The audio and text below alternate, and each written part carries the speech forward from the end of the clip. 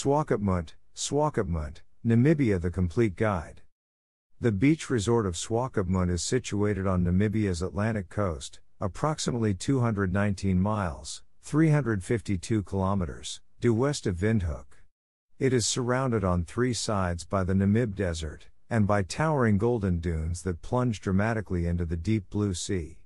It's also the gateway to the Skeleton Coast, making it a haven for adventure seekers and adrenaline junkies, backpackers, and overland road trippers.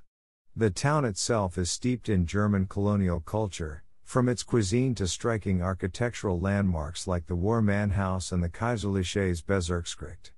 Travelers come to soak up the atmosphere and to take part in activities that range from sandboarding to skydiving.